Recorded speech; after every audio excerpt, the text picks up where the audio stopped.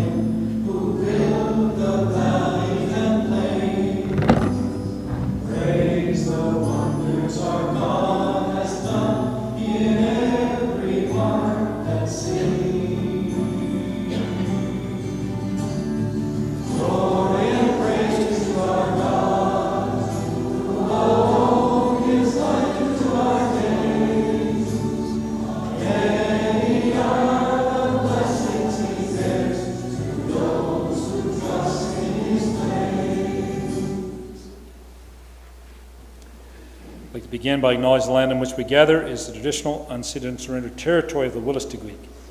Territory is covered by the treaties of peace and friendship with the Wolastoqiyik, Mi'kmaq, Passamaquoddy peoples, first signed with the British Crown in 1725. Treaties did not deal surrender of lands and resources, but in fact recognized Wolastoqiyik, Mi'kmaq, and Passamaquoddy title and established the rules for what should be an ongoing relationship between nations.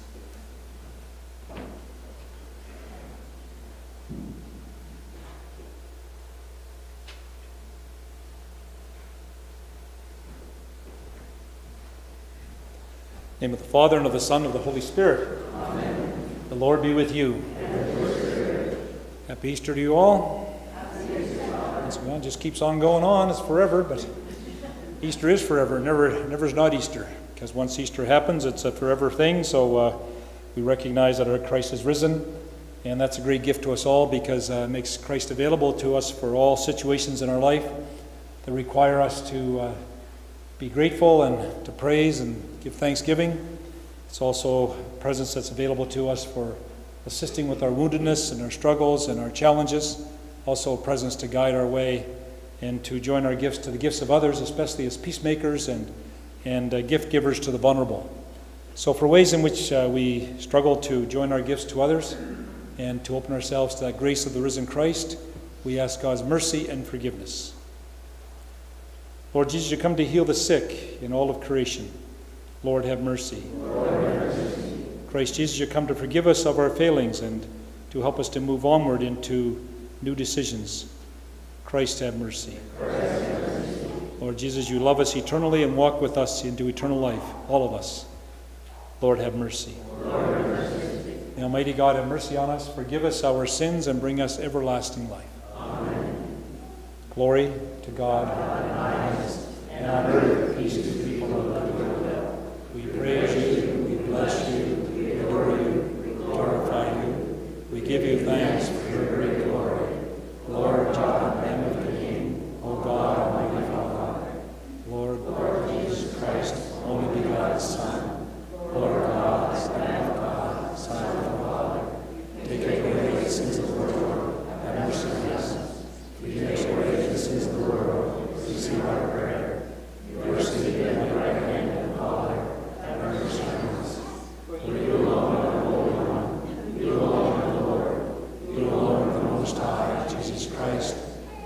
Spirit, in the glory of God the Father. Amen. And let us pray. May your people exalt forever loving God and renewed youthfulness of spirit.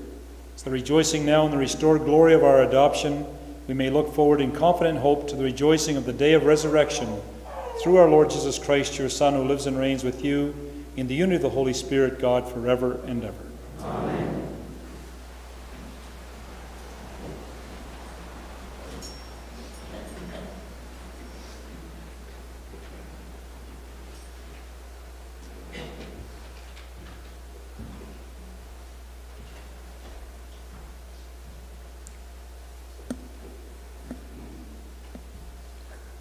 Chapter 3 of the Acts of the Apostles describes how Peter and John healed the lame man who sat begging each day at the gate of the temple. The people were astonished at this miracle. Peter used the opportunity to give a sermon encouraging the people to believe in Jesus. We hear a portion of that sermon now. A reading from the Acts of the Apostles. At the temple gate, Peter addressed the people The God of Abraham, the God of Isaac, the God of Jacob, the God of our fathers has glorified his servant Jesus, whom you handed over and rejected in the presence of Pilate, though he had decided to release him. But you rejected the holy and righteous one and asked to have the murderer given to you, and you killed the author of life, whom God had raised from the dead. To this we are witnesses. And now, brothers and sisters, I know that you acted in ignorance, as did your rulers. In this way, God fulfilled what he had foretold through the prophets that Christ would suffer. Repent, therefore, turn to God, so that your sins may be wiped out. The word of the Lord. The responsorial psalm let the light of your face shine on us, O Lord.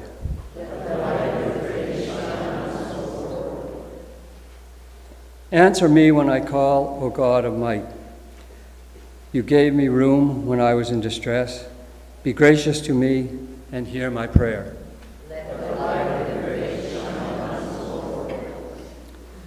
But know that the Lord has set apart the faithful for himself. The Lord hears when I call to him. There are many who say, Oh, that, the, oh, that we might see some good, that the light of your face shine on us, O Lord.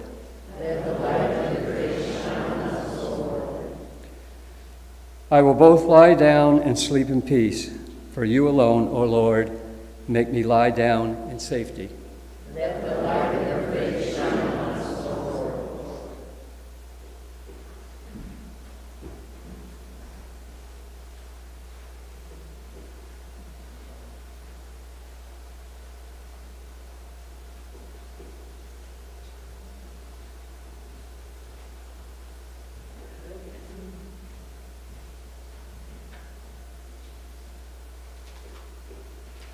Each Sunday during this Easter season, we are reading from the first letter of John. It was written for the community from which fourth gospel emerged. At the time, this community was seriously divided. Some members believed that as long as you had faith in Jesus, it didn't matter what you did in daily life. Today's passage deals with that issue. A reading from the first letter of St. John, my little children, I am writing these things to you so that you may not sin. But if anyone does sin, we have an advocate with the Father, Jesus Christ, the righteous. And he is the atoning sacrifice for our sins. And not for ours only, but also for the sins of the whole world. Now, by this we may be sure that we know him, if we obey his commandments. Whoever says, I have come to know him, but does not obey his commandments is a liar. And in such a person, the truth does not exist. But whoever obeys his word, truly in this person, the love of God has reached perfection. By this we may be sure that we are in him. The word of the Lord. Please stand for the gospel.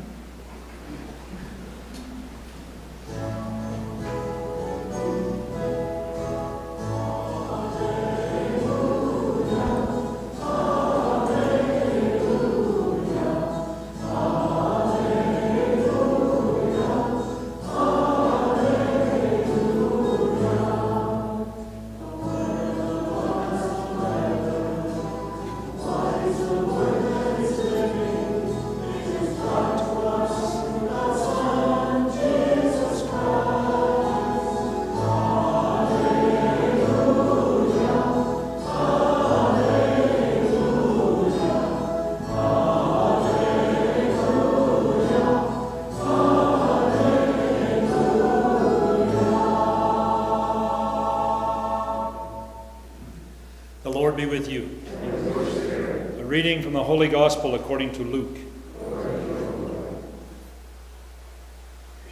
The two disciples told the eleven and their companions what had happened on the road to Emmaus, and how Jesus had been made known to them in the breaking of the bread. While they were talking about this, Jesus himself stood among them and said to them, Peace be with you. They were startled and terrified and thought they were seeing a ghost. He said to them, Why are you frightened, and why, why do doubts arise in your hearts? Look at my hands and my feet. See that it is I, myself. Touch me and see. For a ghost does not have flesh and bones, as you see that I have. And when he had said this, he showed them his hands and his feet. While in their joy they were disbelieving and still wondering, he said to them, Have you anything here to eat? They gave him a piece of broiled fish, and he took it and ate in their presence. Then he said to them, These are my words that I spoke to you while I was still with you, that everything written about me in the law of Moses, the prophets, and the Psalms must be fulfilled.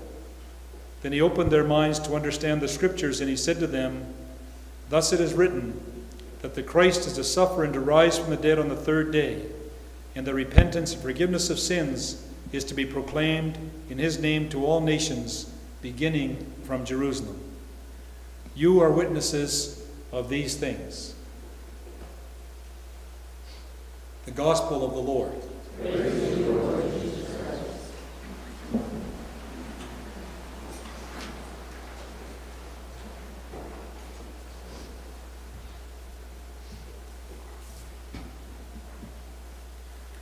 Couldn't think of much to say this week, so I just brought this book to read it to you. So.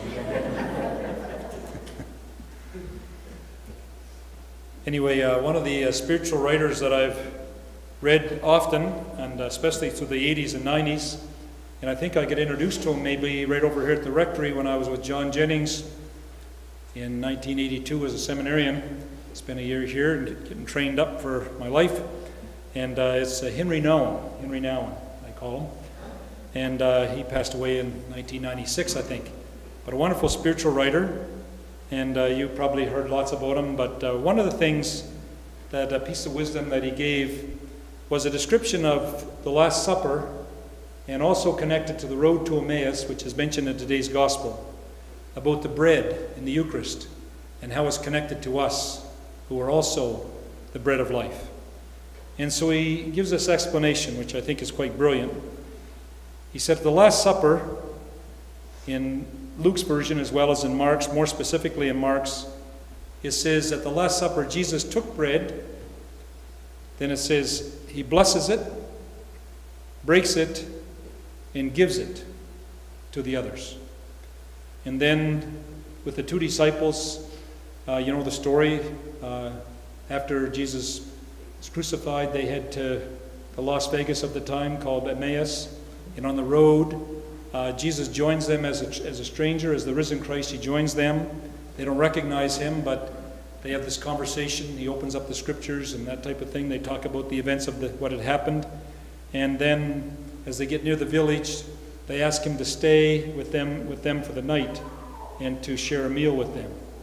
And then it says, at the meal, he took the bread, he blesses it, breaks it, and gives it to them. The very same thing that, uh, that happened with the institution of the Eucharist in Mark and Luke.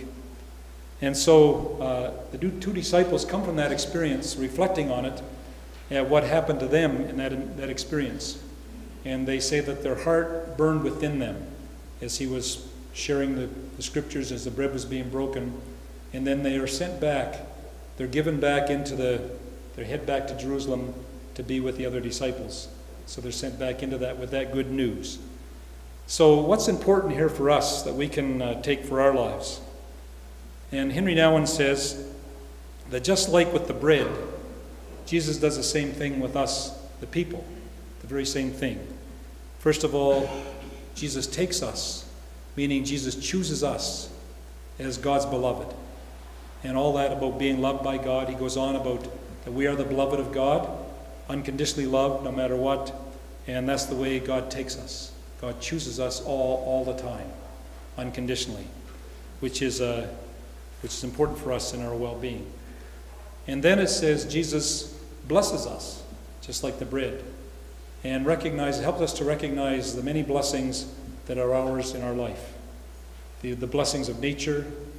Wasn't it a great blessing to see the eclipse and to see all the excitement around it and all of God's creation, just to focus on that one aspect?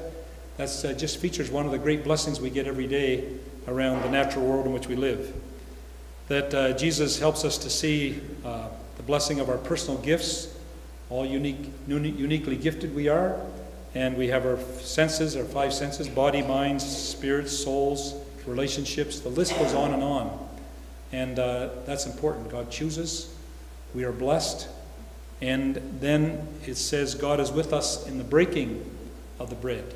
We're also people who are broken and, and wounded, and we have illness, and we have struggles and pains, and that that too is part of our human journey in which Christ is involved. And so Nouwen points that out that we're, we're chosen, we're blessed, we're broken, and we're given. Jesus gives us into the world as human beings.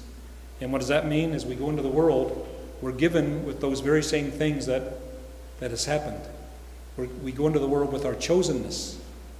It's quite something to know that we're the beloved of God, that we, we have worthiness, that we are lovable, and to take that in. And it helps us to see it and help other people to see it. That's what we can give to others once we have grasped that within ourselves. We then extend that to other people. And then we take, a, we take the sense of being blessed in this world. We take that to others as well. And just our conversations help others to see that what a blessing, just what a blessing we have a, to live in this world. And what a gift it is to have our senses, what it is to have relationship. And that is what we, that's what we give, that's what we take into the world. But also our brokenness is, uh, can become a gift of uh, what we take into the world. And, uh, and we often hear the word wounded healer and that type of thing. But if there's anything that Nouwen really emphasized, because he had a lot of, a lot of struggle in his own life, and uh, it was out of his own brokenness that he's able to teach with such gift and wisdom to us. And uh, this is a book that uh, it has uh, one year's worth of uh, re- little daily reflections. And um, it, uh, I won't read them all to you, but there's one here on, and it says wounded healers. And this is what he meant by that. Nobody escapes being wounded.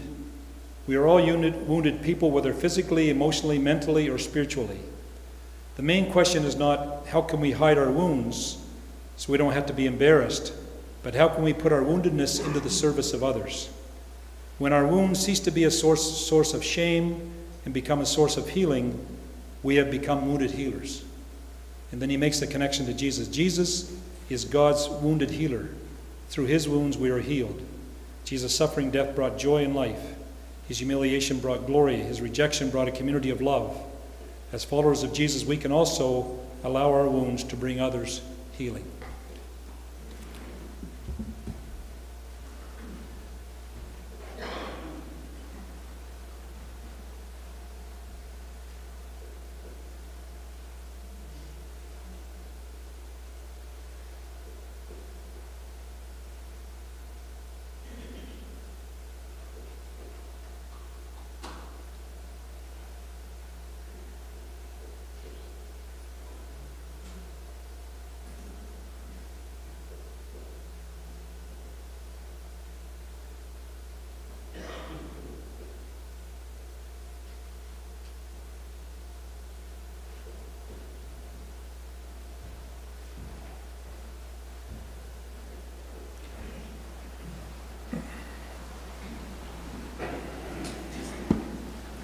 Recognizing that there's many ways of expressing truth about God and various cultures, religions, denominations. And we have this one as well that uh, speaks beautiful truths, and so let us pray it together. I believe in God, Father, and in Jesus Christ, who was conceived from the Holy Spirit, born of Mary, suffered under Pontius Pilate, was crucified, died, and buried. He into hell. On the third day, he rose again from the dead. He ascended into heaven, and sits at the right hand of God. There, there, he was not judged for the living and dead. I believe in the Holy Spirit, the Holy Catholic Church, the communion of saints, the forgiveness of sins, the resurrection of the body, and life everlasting. Amen.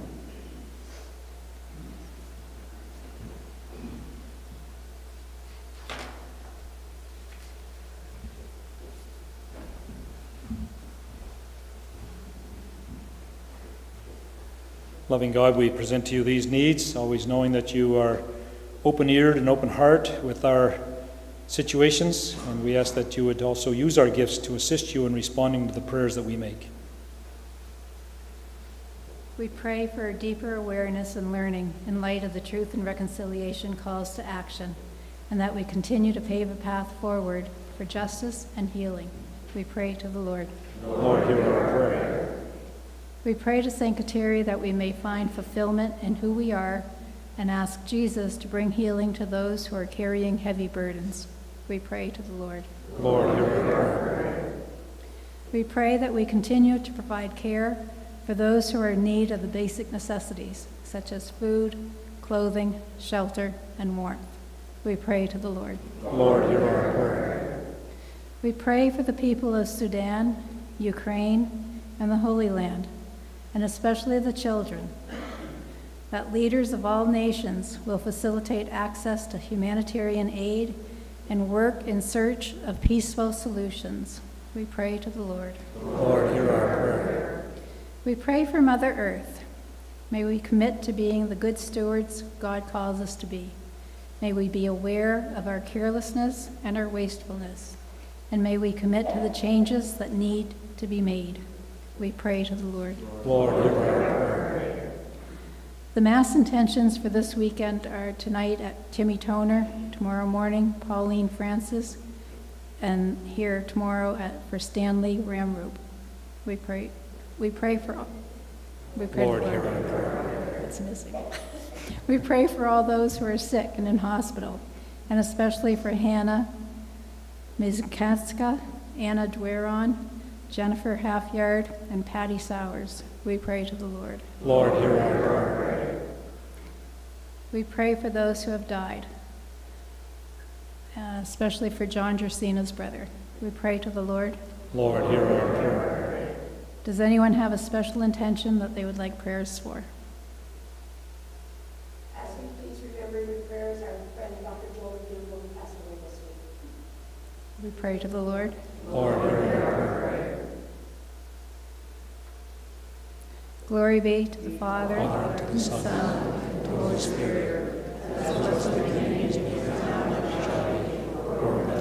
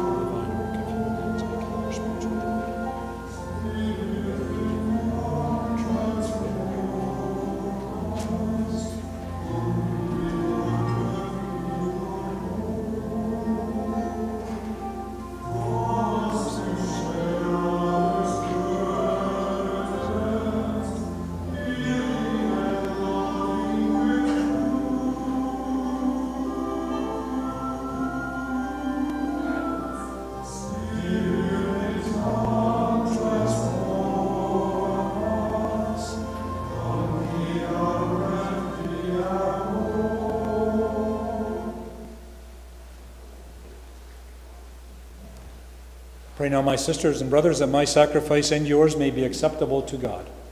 The Lord accept the sacrifice of your hands, the praise and glory of God's name, for our good and the good of all God's church. Receive, loving God, we pray, these offerings of your people. And as you have given her cause for such great gladness, grant also that the gifts we bring may bear fruit and perpetual happiness through Christ our Lord. Amen.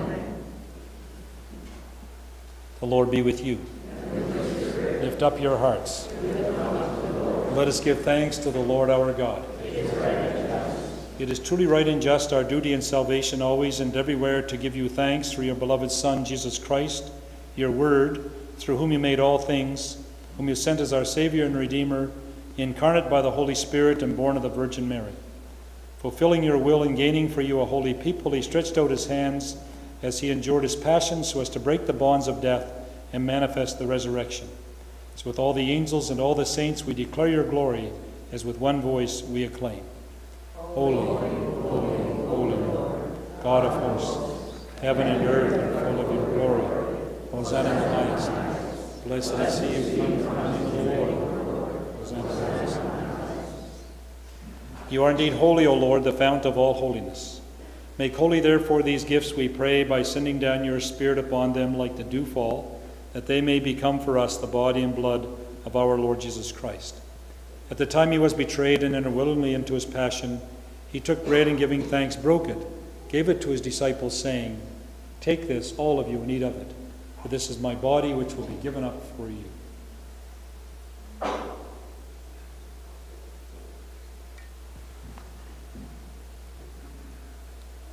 In a similar way, when supper was ended, he took the cup and once more giving thanks, gave it to his disciples, saying, Take this, all of you, and drink from it.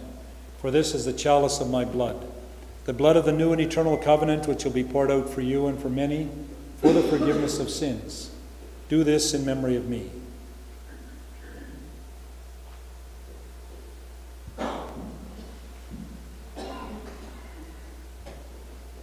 The mystery of faith. When we eat this bread and drink this cup, we proclaim your death, O Lord, until you come again. Therefore, as we celebrate the memorial of his death and resurrection, we offer you, loving God, the bread of life and cup of salvation, giving thanks that you have held us worthy to be in your presence and minister to you. Humbly we pray that partaking of the body and blood of Christ, we may be gathered into one by the Holy Spirit. Remember, Lord, your church spread throughout the world, and bring her to the fullness of love and peace together with Francis, our Pope, Christian, our Bishop, with all those who lead all of your faith families of great diversity and beauty and goodness, and all your people. Remember our sisters and brothers who've gone before us in the hope of the resurrection. Remember Dr. Joe McDougall, Patrick Nelson, Tim Toner, others who've died these past days. Welcome them into the light of your face. Have mercy on us all, we pray, that with Mary, the Mother of God, and with Joseph, her spouse, with all the apostles and saints, St. Kateri, Tekakwitha, all who have pleased you throughout the ages, that we may merit to be co heirs to eternal life and may praise and glorify you through your Son, Jesus Christ. Through him, and with him, and in him, O God, Almighty Father, in the unity of the Holy Spirit, all glory and honor is yours forever and ever. Amen with openness to receive God's daily bread as well as to share it with others through our being chosen and through our being blessed and being broken. We may bring the food of God into our lives through our choices. We pray for this as Jesus taught us. Our Father, hallowed be thy name. Thy kingdom come, thy will be done on earth as it is in heaven. Give us this day our daily bread, and forgive us our trespasses as we forgive those who trespass against us. And lead us not into temptation, but deliver us from evil. Deliver us, Lord, we pray, from all evil, and graciously grant peace in our days, that by the help of your mercy we may always be free from sin and safe from all distress, as we await the blessed hope and coming of our Savior, Jesus Christ. Lord Jesus Christ, you said to your apostles, I leave you peace, my peace I give you. Look not on our sins, but on our faith, and graciously grant us your peace and unity in accordance with your will, you who live and reign forever and ever. Amen. And the peace of the Lord be with all of you. So for each other, a sign of peace and a happy Easter and all those good things.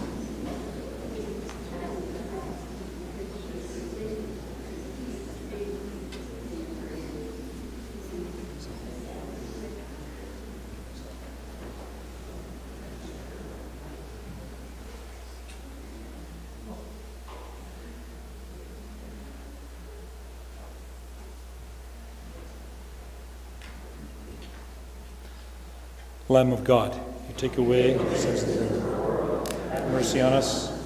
Lamb of God, you take away the sins of the world. Mercy on us. Lamb of God, you take away the sins of the world.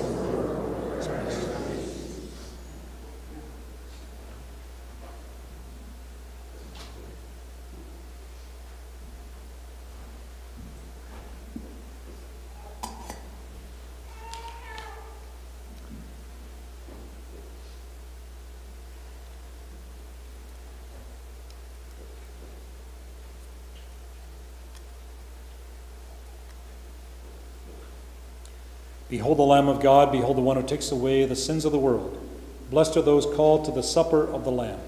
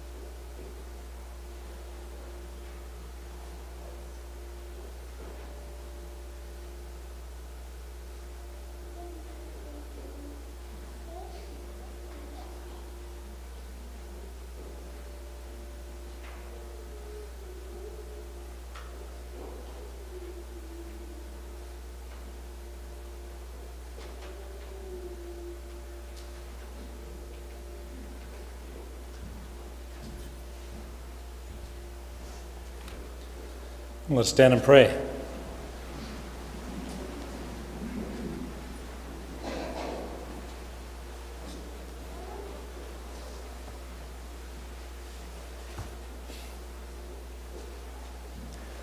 Look with kindness upon your people, loving God, and grant, we pray, that those you are pleased to renew by eternal mysteries may attain in their flesh the incorruptible glory of the resurrection through Christ our Lord. Amen. The Lord be with you. May God's blessing be upon you, the Father, the Son, the Holy Spirit. Amen. Thank you for coming. Nice to see you all. Say a little prayer for my hockey pool. No, no, my, my golf pool. I got hockey on my mind. I got to start acting more like a Canadiens fan, start getting golf in my mind, but I guess it's not going to happen for a while. Leafs don't get to brag very much about being in the playoffs, and Montreal's not there, so I'm not going to mention a thing. I'll wait till the playoffs are over to see how it goes. So, have yourselves a great week. Let us go in peace to love and serve God and one another.